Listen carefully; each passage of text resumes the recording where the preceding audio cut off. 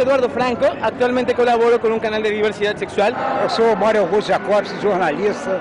Eu sou Renata Moura, estamos aqui representando o movimento negro. Meu nome é Laura, sou daqui de Porto Alegre, eu estou fotografando para botar no site da Central de Estudantes que eu participo, que é a ANEL.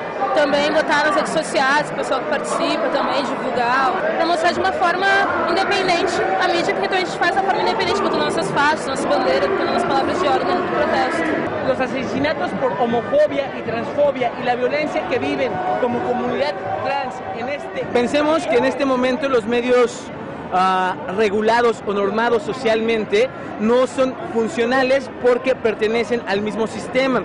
Y los medios masivos de comunicación son justamente eso, el mecanismo de mediatización, de masificación y como decía Carlos Marx, de enajenación de la sociedad.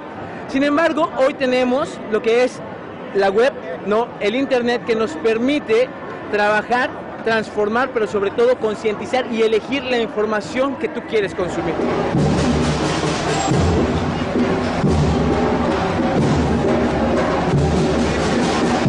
Isso é muito importante e, e ao mesmo tempo dá um choque né, na sociedade e no nosso Brasil, porque realmente a mídia não mostra tanto como tem negros lutando por várias caminhadas, várias lutas, enfim, são várias andanças.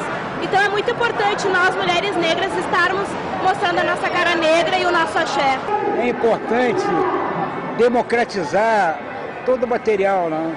E nós estamos travando uma batalha na mídia, né? que é a batalha pela democratização da comunicação. Quanto mais se divulgar pela internet, quanto mais brasileiros e latino-americanos tiverem acesso à internet, melhor será para, para a comunicação, para, para se fazer a cidadania. Né? Cidadãos que lutem pelos seus direitos tá?